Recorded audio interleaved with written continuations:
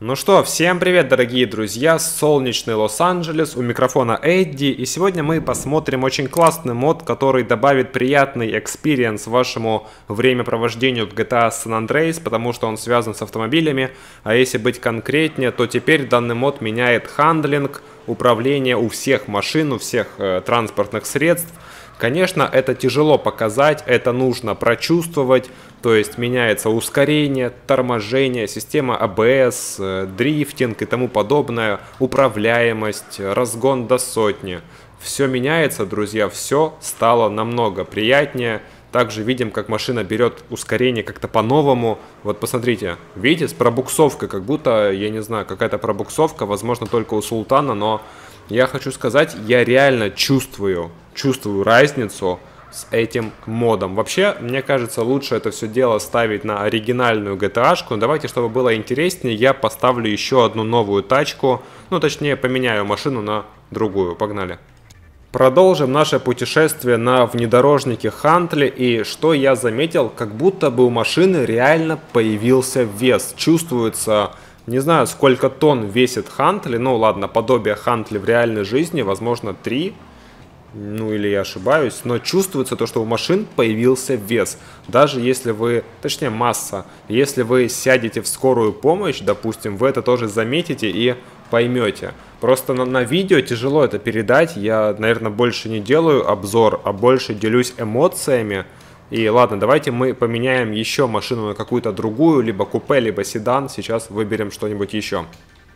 Итак, я выбрал такой седан, и знаете, что я заметил? В целом, у машин прибавился вес.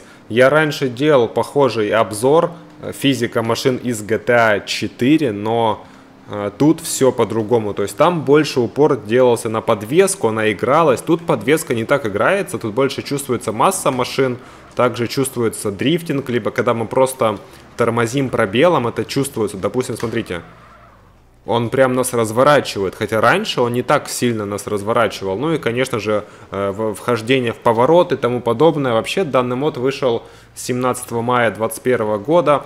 Он набрал уже просто гигантскую популярность. Ладно, давайте мы также проверим байки. Погнали на байки. Также поменяли управление у всяких мотоциклов, байков, это реально чувствуется. Вот если мы пытаемся стать на заднее колесо, либо если мы как-то стараемся резко войти в поворот, это реально чувствуется. Как будто бы некое подобие GTA 4, но далековато до этого. Хорошо. В целом, довольно-таки приятно управлять машинами. Не знаю, почему машина встала так. Возможно, у нее гидравлика. Хотя это же Сталион, у него есть гидравлика? Должна быть, стоп. Нет, все, присел. Наверное, небольшой баг. И также меняется то, как мы сдаем задним ходом. Посмотрите. Вот, теперь подвеска играется, ребят. Э, в общем, мод набрал высокую популярность за такой короткий промежуток времени. Также меняется э, ощущение езды в зависимости от того, на какой поверхности вы катаетесь. То ли это асфальт, то ли это песок, то ли это трава. В общем, я советую самим поиграть. Его ставить легко и просто, всего лишь Э, через ModLoader я советую ставить через ModLoader, там три файла поменять, э, дата файлы и все, по сути. Так что всем рекомендую, друзья. Мне безумно понравилось. Э, езда, конечно, классная, не такая картонная, как раньше. У машин появилась физика, появился вес, масса. Так что на этом, я полагаю, закончу. Мод называется Realistic Handling. То есть, ну, в переводе, типа, реалистичное управление. Ладно, всем спасибо за просмотр, всем удачи, багов нет, все работает шикарно. До новых встреч, говорил и показывал я Эдди. Адьос и всем пока. Ну и, конечно, хочу сказать спасибо этому человеку за первую подписку на Патреоне. Спасибо, Илья, это не может не радовать. Если вы желаете поддержать канал, вы можете сделать это на Патреоне, став патроном канала. Ссылка будет в описании.